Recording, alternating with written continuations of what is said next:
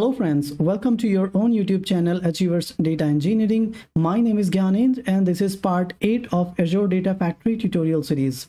In our previous video, we started discussing about the triggers in Azure Data Factory and we discussed about schedule triggers and event-based triggers. In this video, we are going to discuss in details about the tumbling window trigger. So if you haven't watched my previous videos re related to trigger, I would highly recommend to watch that video before watching to this one. All right, so let's get started with tumbling window triggers in Azure Data Factory. All right, so tumbling window triggers are fired at a periodic time interval from a specified start time while retaining the state. It's more like similar to what we have got in the schedule based triggers. However, there are some properties available in tumbling window trigger which makes it distinguished from schedule based triggers. Now, what are these properties are? Uh, this tumbling window trigger supports one-to-one -one relationship only. So as we discussed in the schedule-based trigger, we can have one schedule-based trigger that can execute multiple pipelines and vice versa. However, in case of tumbling window trigger, we can have one trigger to execute only one pipeline. Like it, it is going to be one-to-one -one relationship. Now, pipeline runs can be scheduled for a window in the past also. Now, this is a very unique feature. Uh, so let's assume we are processing a data which is time based so let's say uh, there is an iot device which is sending data on every hour and we want to run or we want to process that data using pipelines. So let's say we have got that data from past date also. So with help of tumbling window triggers what we can do is we can some we can set up the parameters which is kind of advanced discussion. However based on that settings we will be able to set up the data processing window for uh, you know for past dates also. That is a unique feature of this tumbling window trigger. Now third feature is uh, pipelines. Pipeline run can be scheduled for all windows from a specified date without gaps. So as i mentioned we can specify it from a past date and then let's say if we are setting up it to execute a pipeline on every one hour so from that past date till the time we are you know specifying it it will continue to execute the pipeline without any gaps. Now last and which is very most important feature is we can build a dependency chain that makes sure triggers are executed only after a successful execution of another trigger within the service so uh, in order to understand this, let's go on the Azure Data Factory Studio and we will understand it over there. Let's go ahead and go into the Manage tab, click on the triggers and say new. And this time we are going to create a tumbling window trigger. Uh, all right. So now if you if you notice when we were creating schedule based trigger in our previous video, we were able to select a start date and we were able to select a time zone according to the date or time that we want to select. However, when we are talking about tumbling window trigger, the default time that we are going to get is a UTC time zone and accordingly we will have to adjust. Now, at this point of time, whatever configuration options that we have got, it is quite similar to what we have got in the schedule based trigger. So let's say I want to execute a pipeline, uh, let's say at every one hour. So all we need to do is create a trigger like this. We can say occurrence at every one and then say hour and we can just hit create and it will create a trigger. So let me do one thing. I already have a pipeline and if you remember in our previous video, we attached a, oops, we attached a trigger with this and this is the trigger one that we created and also if i go into the monitor tab and let's see if it was working. So i i created it when i created my last video and you can notice since then every day on the same time this pipeline is executed by that particular trigger. Okay so coming back to that uh, tumbling window trigger that we have just created what i will do is i will detach this particular trigger from here. I'll just say detach. And then I will add this new particular trigger and say hit OK. And then I'll just go ahead and publish. Okay, we have got some there. Cannot be activated from contain no pipeline. Okay. Say stop. Okay. Close and publish. All right. So it is going to publish and in this way, what we have done is we have attached the tumbling window trigger with this particular pipeline that we have uh, that we already had. Now what does it mean is this particular trigger is going to execute this pipeline at every one hour. All right. Now let's talk about all those properties which we discussed in the ppt in in the practical format how how these you know these kind of properties works in the tumbling window trigger. So if i come back here so the first property says uh, it supports one-to-one -one relationship only. That means one trigger can be associated with one pipeline only. So if i just go ahead and create a duplicate pipeline i'll just hit clone. And uh, it will just create a new data fact a new pipeline within data factory. I'll just go ahead and publish. And let's wait for a few more seconds. Okay come on okay now once it is published if i go ahead and click on triggers and try to you know attach that existing trigger that we you know attached with pipeline one you would notice that that option is not even available here because you know tumbling window triggers supports one-to-one relationship only. So if that uh, trigger is already associated with one pipeline we cannot associate with another pipeline. Now talking about the another one pipeline run can be scheduled for the windows in the past so uh, i mean this particular feature might require some additional settings that uh, might take time. So i'll just go ahead and show you one you know option right now. So if i hit new and then say tumbling window trigger. Now while creating tumbling window trigger you might see there is an option to select past date is also enabled. So what does it mean is when we are creating a tumbling window trigger we will be able to set it from a past date now uh, as i gave an example in the beginning of this video let's say we are handling a data which was time sensitive and we are getting it from a, a, past date then we can set up this tumbling window trigger to run based on that past date till whatever date we are specifying. However it will require to do some you know set up a lot of logic in the pipeline so that we can actually attach that that time and this tumbling window trigger time.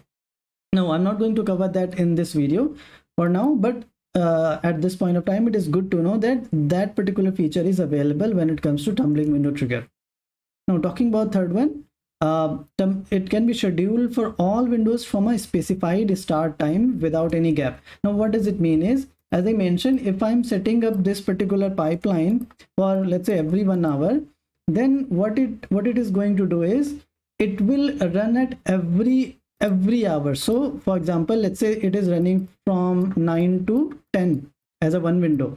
Now, what it will do automatically, it will create another window from 10 to 11 then another window from 11 to 12 it is not going to miss or it is not going to create any gap between the time slots and it will run at each window till the end specified time now how we are specifying in time we can just hit this in specify in time and we can uh, you know specify a in date time over here now talking about the last one which is most important we can build a dependency chain that makes sure that a trigger is executed only after the successful execution of another. Now, again, when we were scheduling, when we were creating a schedule based trigger, let's say we scheduled it like this.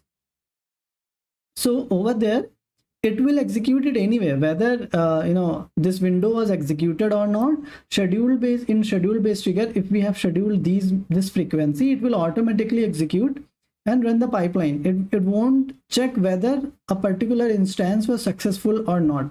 But in case of tumbling window trigger, we have option to define the dependency. So what we can do is we can set up a dependency that will check. So let's say it is going to execute 10 to 11 window, but before executing this, it will check whether the previous window, which was from 9 to 10, whether it was executed successfully or not. If that if that execution was successful only then it will execute this next time slot. Same goes apply with all the windows. That is a dependency we can specify. Now this dependency we can specify in two forms we can specify this dependency using a self trigger itself like whatever trigger that we have created to run this particular pipeline in this uh, time slot. We can define the dependency of this trigger itself I mean a self dependency or we can create another trigger that will be attached as a dependent trigger on this one. So let's see that in practical. To understand this tumbling window trigger dependency in practical, let's uh, make some changes in the existing pipeline to create a scenario. So for now, let's assume this pipeline one that we have got, it's for loading a data. Let's say we are getting some sales data and we have, we are loading it using this pipeline. So I'll just say loading sales data. And then the second pipeline that we have, it is for processing the data. Oops. Processing data okay now we want to create a dependency that once data is loaded then we want to execute this particular pipeline however if that data load got failed somehow then we don't want to execute this processing data pipeline so how can we do that is let's say we are selecting this particular uh, pipeline where we are loading the sales data. I'll go ahead and click on trigger. Now this, i'll go ahead and detach this trigger that i created and i'll go ahead and create a new trigger. I'll say tumbling window load data trigger. Load data trigger and select the tumbling window trigger. And let's say I want to you know run it starting from Monday 9th of October 9 a.m. let's say 9 I'll just select the 90000 every day at the 9 a.m. and hit OK. And frequency let's assign it at every one hour.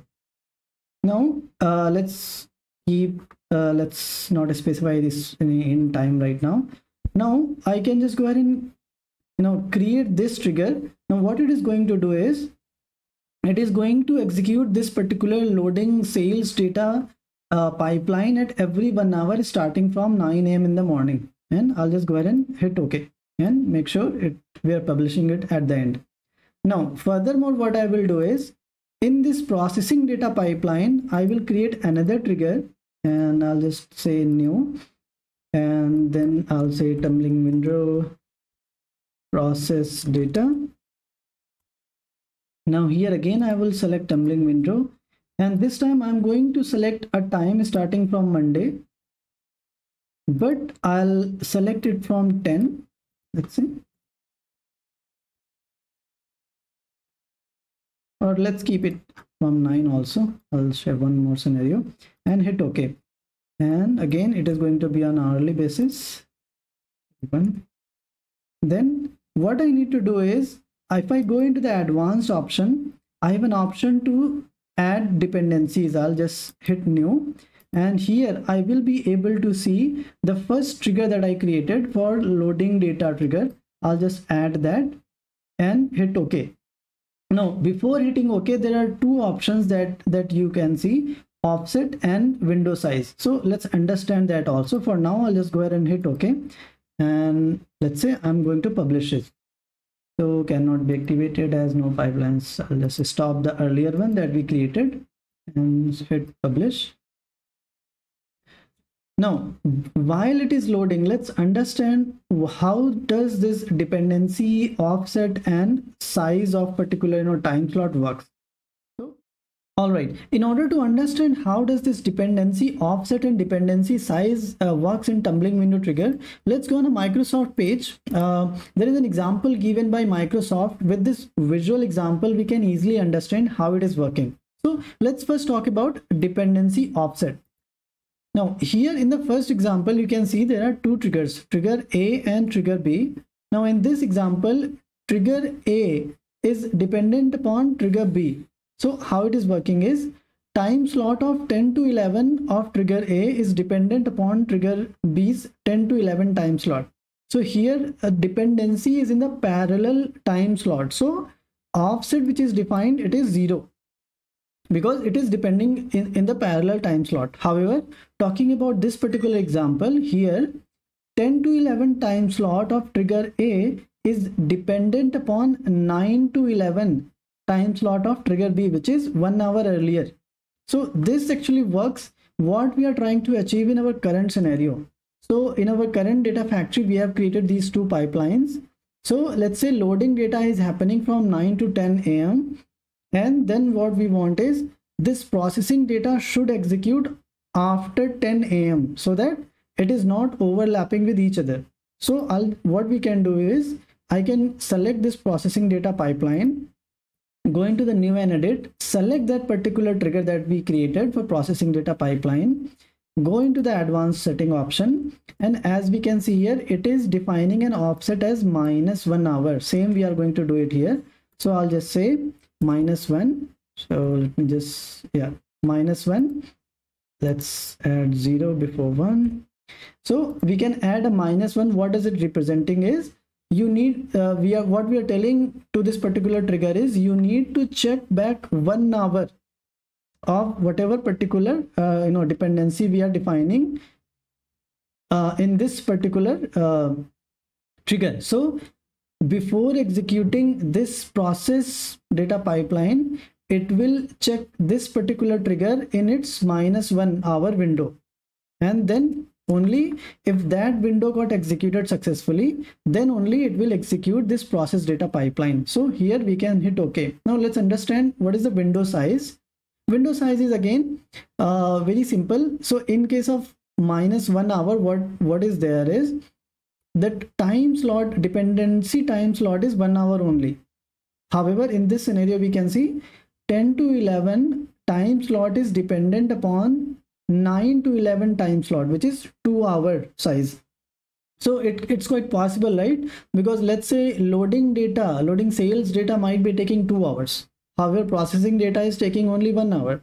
So in that scenario what we can do is instead of defining 0 1 here we can define the size as two hours. So it will go back one hour but it will check the size of two hours. So that we can define here if we if we have such kind of you know dependency and accordingly it will work.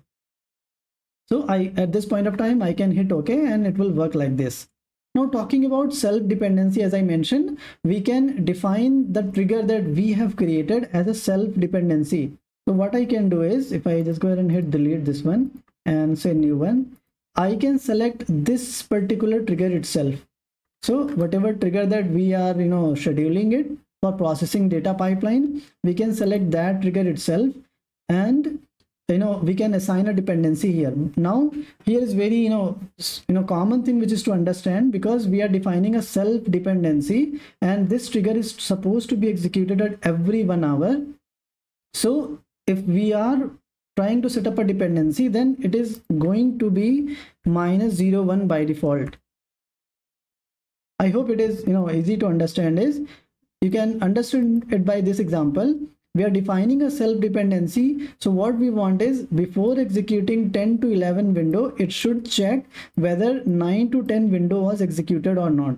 That that is how it is working. And that is why we are defining minus one hour as an offset in the dependency. So these kind of dependency we can uh, you know define when it comes to tumbling window trigger uh, let's talk about some other options also available within uh, tumbling window trigger. First one is nothing but the delay. So with help of delay, we can define some hours, minutes or seconds here. That delay can be there. Uh, so let's say a trigger got executed and based on the dependent trigger, another trigger is supposed to be executed. So there we can add a delay of one or two minutes and then this trigger will execute the pipeline. This is how it is supposed to work. Then talking about max concurrency. So let's say these tumbling window triggers are supposed to run in the time slots and there might be some possibility that a same pipeline is running for multiple time slots together. So let's say there are two or five pipelines now running in the parallel for a different time slots. So to optimum use the Azure Data Factory, what we can do is we can limit the concurrency and let's say we want only two pipelines to run in parallel or two triggers to be executed in parallel. So we can define it here. Then uh, retry policy let's say due to some reason a particular you know trigger got failed or a particular pipeline execution got failed. So the dependent trigger is still waiting.